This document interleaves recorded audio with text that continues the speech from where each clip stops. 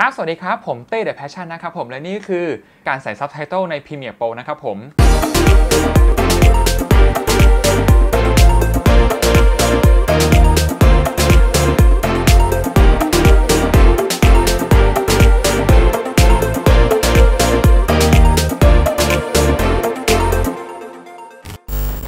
หลาย ๆ คนนะครับอาจจะสงสัยว่า เอ๊ะ ปกติรายการที่เราดูปกติหรือวิดีโอที่เราตัดต่อเงี้ย หลาย ๆ คนนะครับอาจจะคุ้นเคยกับ Legacy Title ใช่ไหม Legacy Title คืออะไร Legacy Title คืออย่างนี้ อ่า นั่นแหละครับ มันก็คือการใส่ text ที่เป็นตัวใหญ่สำหรับการเน้นคำถูกไหมหลาย ๆ คนเวลาทำวอกเวลาทำอะไรจะได้เห็นอยู่แล้วล่ะ หรือรายการตามแบบยูทูบเบอร์หลาย ๆ คนที่เขาทำกันแล้วก็จะเห็นตัวเจ้าตัว Legacy Title เนี้ยโผล่เข้ามา แต่อันเนี้ยเราจะสอนอีกแบบนึงก็คือ การใส่ Subtitle อย่างนี้ การใส่ Subtitle เพื่อที่จะ เอาไปทำในวิดีโอของเรา Subtitle อันนี้มีประโยชน์ในการทำอะไรบ้าง Subtitle ตัวนี้ครับมีประโยชน์ในการที่จะใช้สมมติเกิดกรณีที่เราไปถ่ายด็อกิเมนทารีบทสัมภาษณ์หรือว่าอะไรก็ตามแต่ที่เสียงดังมากๆ จนแบบไม่ได้ยินเสียงคนพูด ไม่ได้ยินเสียงที่เราพูดหรือไม่ได้ยินเสียงอะไรเลย Subtitle มีประโยชน์ในการเขียนเอาไว้ข้างล่างเพื่อให้คนอ่านและทำความเข้าใจ มันจะเหมือนกับหนัง soundtrack ที่เราไปดูในโรงนั่นแหละว่ามันจะเป็นแบบนั้นเลย เราไปดูดีกว่าว่าวิธีทำเป็นยังไง ครับผมสวัสดีครับ ตอนนี้เราก็อยู่กันที่เจ้าตัวโปรแกรม Premiere Pro 2021 เนาะนี่ก็คือไทม์ไลน์ของการรีวิว Ye Live นะครับ สมมุติว่าในวิดีโอตัวเนี้ยเสียงมันมี ambient แทรกซ้อน ambient คืออะไร ambient คือเสียงที่อยู่ในสภาวะที่เป็นเสียงแทรกเวลาเราพูดนู่นนั่นนี่เสียงคนพูดเสียงรถขับมาอะไรเงี้ย เราจะทำยังไงเพื่อสร้างซับไตเติลขึ้นมา ต้องการจะสื่อสารกับผู้ชม เต้อย่างเงี้ยนี่คือหน้าจอที่เต้อะตั้งค่ามาแล้วถ้าใครต้องการที่จะรู้นะครับผมสามารถ Request เข้ามาได้นะ ว่าตั้งค่าหน้าจอยังไงเพื่อที่จะประหยัดพื้นที่ที่สุด หรือ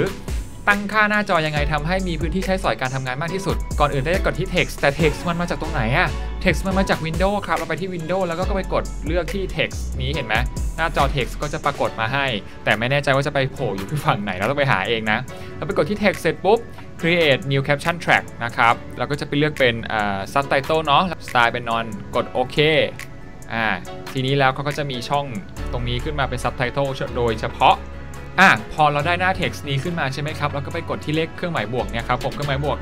add new caption segment ถูกไหมแล้วก็กดเครื่องหมายบวก มันก็จะขึ้นขึ้นมาเป็นช่วงวินาทีที่ 0 ถึง 03 ก็คือตั้งแต่ช่วง 0 ถึง 3 วิ เราจะใส่แคปชั่นอะไรเข้าไป แล้วก็กลับไปฟังที่เดิมว่าเราพูดว่าอะไรนะสมมติ อันนี้คือสมมตินี่เป็นเพราะว่าเสียงแทรกซ้อนที่ เราไม่ได้ยินว่าไอ้คนอื่นไม่สามารถได้ยินได้ว่าเราพูดว่าอะไรนะนี่เป็นสถานการณ์สมมุตินะสวัสดีครับวันนี้เราก็อยู่กับ The Passion อีกแล้วนะครับผมทำไมถึงอ่าเราพูดว่าสวัสดีครับวันนี้เราก็อยู่กับ The Passion อีกแล้วนะครับผมโอเคแล้วก็จะมาเปลี่ยนแคปชั่นกันอันเก่าอะที่มันก่อนที่มันจะอัปเดตเป็นรุ่นใหม่อะมันคือมันถูกเรียกว่าแคปชั่นเราจะต้องตั้งตั้งค่านู่นตั้งค่านี่อะไรเงี้ยพอมันเริ่มอัปเดตมาเป็นตัวตัวใหม่ปุ๊บอะมันย้ายที่จนเราแบบอ้าวอันนี้หรอทำไมมันถึงไม่บอกเราเลยอะไรเงี้ย แล้วแต่ว่าข้อดีของมันอย่างหนึ่งคือเราสามารถแก้ที่หน้า sequence ได้เลย คือเราแค่ไป double click ตรงตรง new caption ที่เราสร้างขึ้นมาครับ มันก็จะเป็นหน้ากรอบแดงๆใช่ปะนั่นคือจุดที่เราสามารถเขียนได้ แล้วก็จะไปเขียนเป็นสวัสดีครับ วันนี้เราอยู่กับ The Passion อะ เราลองดูซิว่ามันจะตรงหรือเปล่า สวัสดีครับ วันนี้เราก็อยู่กับ The Passion อีกแล้วนะครับผม เห็นไหมมันดีตรงที่ว่ามันสามารถแบบขยายเข้าออกได้โดยที่ไม่ต้องแบบ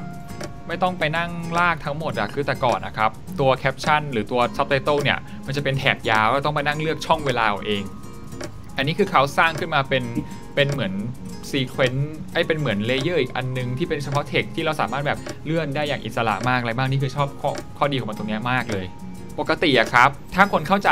เรื่องถ้าคนเข้าใจอะ เราจะสร้างตัว add new layer segment ใหม่ใช่ไหมแต่อันนี้ อันนี้เราเราไม่ต้องเราไม่ต้องสร้าง เราจะใช้วิธีนี้ครับ เราจะไปกด alternate ที่ตัวเราจะไปคลิกก่อน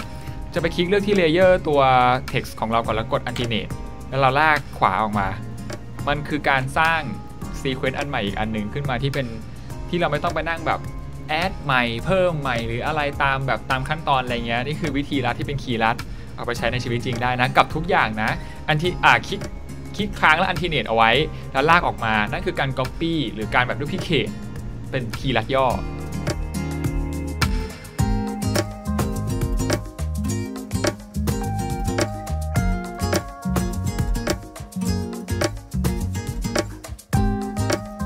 ประมาณนี้ครับผมนี่คือแคปชั่นที่เราสร้างเอาไว้เพื่อที่จะที่ฟังไม่ทันหรือไม่รู้ว่า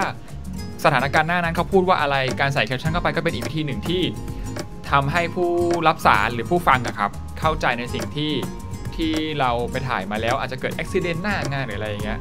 แล้วมันไม่รู้เรื่องเออนี่คือการอีกวิธีหนึ่งที่เราแกะเทปแล้วเราก็เขียนให้เขาอ่านเอาอะไรเงี้ยครับอะเราลองไปดูกันว่าจะเป็นยังไงสวัสดีครับวันนี้เราก็อยู่กับเดอะแฟชั่นอีกแล้วนะครับผมทำไมถึงเราต้องติดไฟนี้นะครับเพราะวันนี้เราจะมารีวิวไฟหน้าของเสี่ยวมี่กันจ้านี่แหละครับก็เป็นวิธีง่ายๆสำหรับการทำ Subtitle ใน Premiere Pro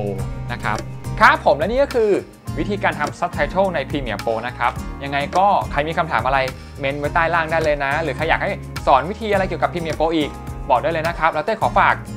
คลิปสอนตัดต่อ Premiere Pro ที่เต้เคยทำเอาไว้ก่อนหน้านี้แล้ว หรือใครอยากรู้เทคนิคอะไร สอบถามมาเข้ามาได้นะสำหรับวันนี้ สวัสดีครับ บ๊ายบาย